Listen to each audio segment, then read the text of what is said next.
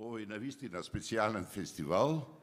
А, двајца наши познаници кои никогаш не сме ги гледале овде во, во дует. Ова инаку ќе биде трет настап на на Владко Стефановски на Джес фестивал. Првото беше премиерниот концерт дует со Мирослав Тадиш со оној проект Крушево. Вториот беше во вториот беше и Теодоси Спасов вклучен, Македонската филхармонија и оној славен естонски диригент Кристијан Јарви, тој оној историски концерт во Универзалната сала, а и ова е премиерно, бидејќи Владко Стефановски и Теодоси Спасов никогаш во дует не настапувале овде во Македонија. Па еве да ги видиме на отворањето на Скопскиот джез фестивал. Владко Стефановски и Теодоси Спасов.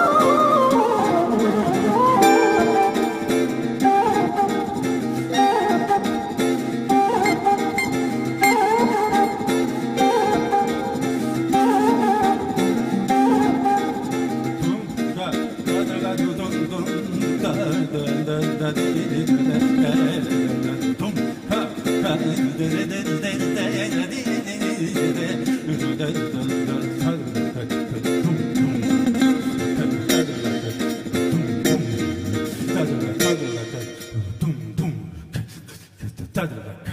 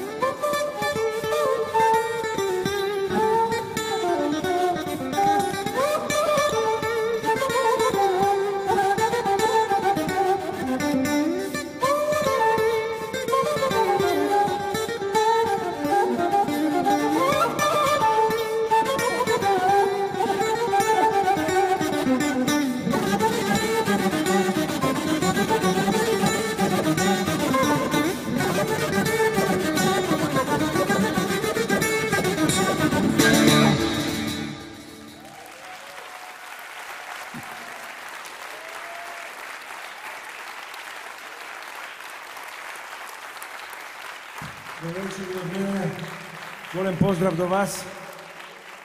Голем поздрав до Скопскиот джез фестивал. Еве веќе трет пат настапувам и секогаш е големо задоволство и голема чест да се биде дел од оваа манифестација. Вечерва со мојот голем пријател и соработник Теодоси Спасов.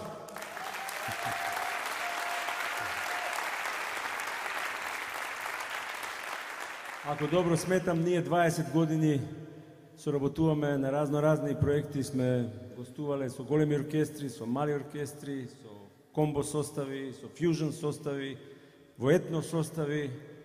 Сме свиреле и вака како дуо на, на разни места, ама никогаш во Македонија. А, сега сакам да најавам една композиција на Теодоси, ако веќе тој самиот не сака да ја најави. А таа Таа номера се вика Изгубените китови. Уживајте.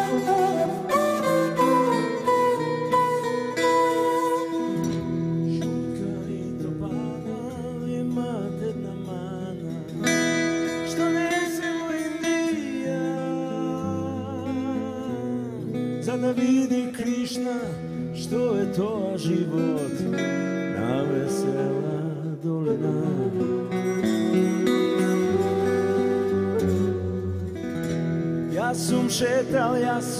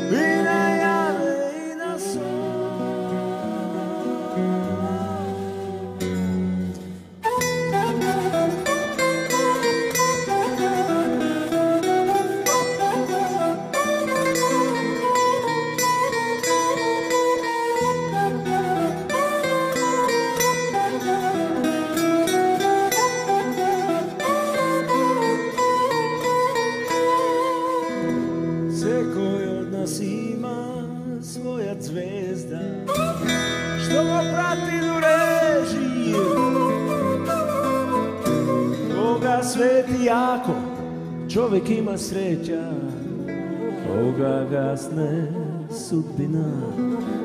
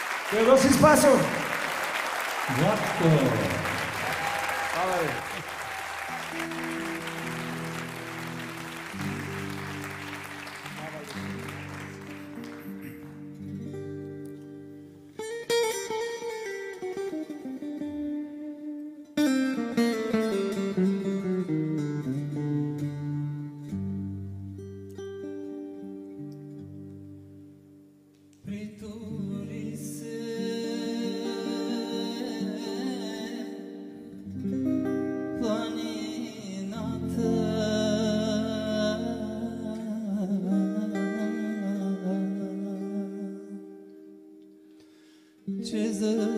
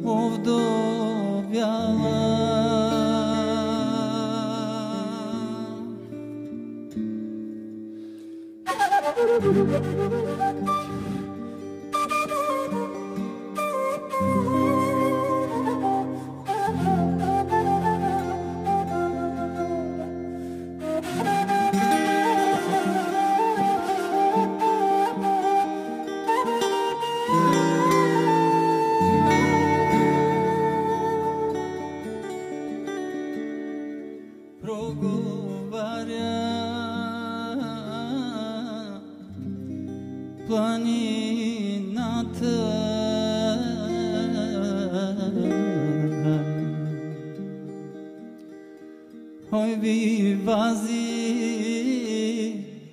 va ovčarja Libe tri godine.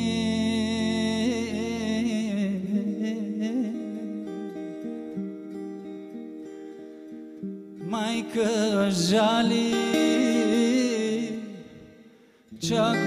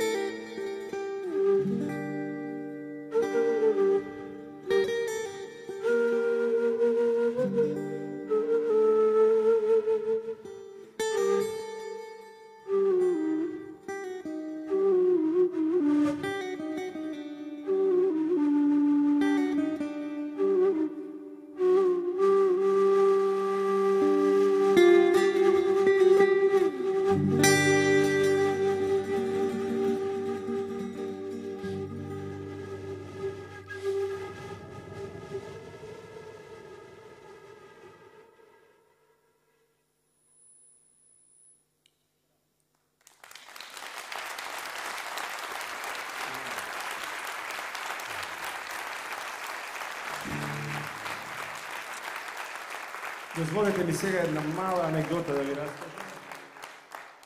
Еска кажав дека Теодоси и јас работуваме 20 години. А, сега ќе ви кажам, првиот проект на кој работевме беше еден интернационален бенд кој се викаше Balkan Horses Band. И јас на, на тој концерт, на тие проби, требаше да одам во Софија на проби, тоа беше 2000 година, ама ја имав добра причина да не присуствувам на првите проби на тој бенд, затоа што на 14. октомври, пред точно 20 години, добив син, кој денеска има роден ден, неговото име е Јан Стефановски. Честит роден ден, драги синко Јан.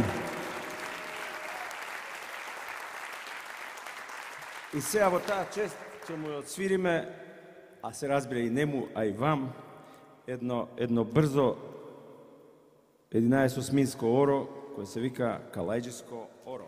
Румба, думба, думба, румба, думба, думба, румба, думба, думба, румба, думба, да. Рум, дум, дум, ду, думба, дум, дум, дум, ду, думба, дум, дум, дум, ду, дум, дум, дум, дум, дум, да, бау.